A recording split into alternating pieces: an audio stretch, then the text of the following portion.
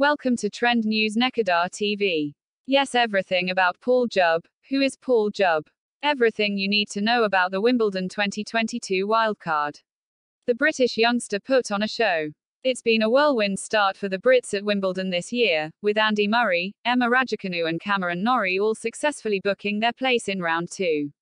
A lesser known British star competing this year is world number 219 Paul Jubb, but despite gaining access to this year's competition via a wildcard entry, the 22 year old is catching the eye of many admirers. Here is everything you need to know about Jubb.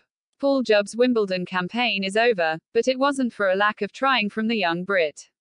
The 22 year old took the heavily fancied Nick Kyrgios the distance on court 3, but unfortunately for the wildcard entry, he fell agonizingly short of a famous win. He was handed a standing ovation from a raucous Wimbledon crowd as he left for the locker rooms. Something tells us it won't be his last appearance at the famous event. Who is Paul Jubb? Paul Jubb is a 22 year old British tennis player from York, England. He was handed a wildcard entry in order to compete at this year's Wimbledon Championships. Jubb has competed at Wimbledon once before, losing in four sets to Joao Sousa back in 2019. He will face off against Australian ace Nick Kyrgios in round one of this year's competition.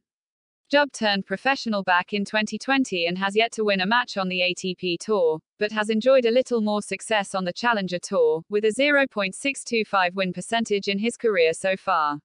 He has claimed one Challenger Tour title, with victory at the ATP Bolivia earlier this year. British tennis fans will be able to watch Paul Jubb's first round clash with Nick Kyrgios live via the BBC Red Button service and BBC iPlayer.